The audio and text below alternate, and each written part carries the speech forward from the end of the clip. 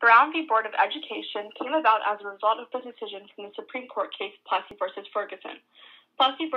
Ferguson upheld the constitutionality of racial segregation in public facilities as long as the facilities were separate and equal in quality. However, many public institutions, specifically schools, were segregated but far from equal.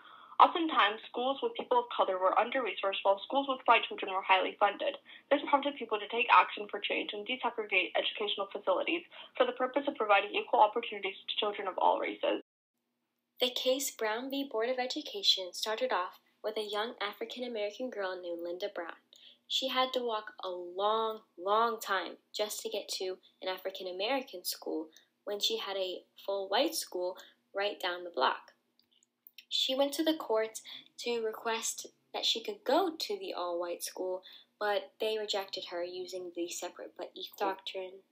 The all African American school also taught very basic education and was not the best quality school in comparison to the all white school that was just down the street. At this time, racial segregation was at its peak, and the NAACP was fighting intensely with lawsuits trying to get this separate but equal thrown out. So, naturally, when they saw Brown v. Board of Education, they immediately picked up the case and helped them win.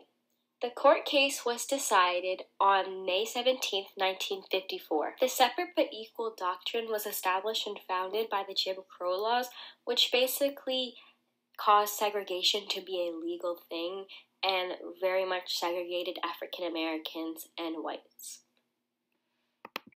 The situation started when Linda Brown was denied entry to an all white elementary school, and this caused her father, Oliver Brown, to file a case against the Board of Education of Topeka. In a unanimous decision, the Supreme Court ruled that separate but equal schools for racial minorities is inherently unequal, violating the Equal Protection Clause of the 14th Amendment. This landmark decision overturned Plessy v. Ferguson which established the idea of separate but equal. Chief Justice Earl Warren delivered the opinion of the unanimous court. He held that separate but equal schools are unequal and therefore violate the protections of the Equal Protection Clause in the 14th Amendment. Also, he reasoned that the segregation of public education based on race instills a sense of inferiority that had a hugely detrimental effect on the education and personal growth of African American children.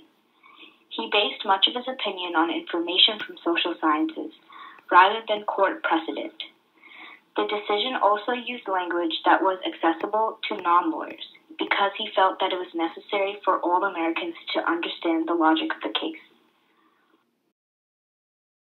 Supreme Court held that separate but equal facilities are inherently unequal and violate the protections of the Equal Protections Clause of the 14th Amendment.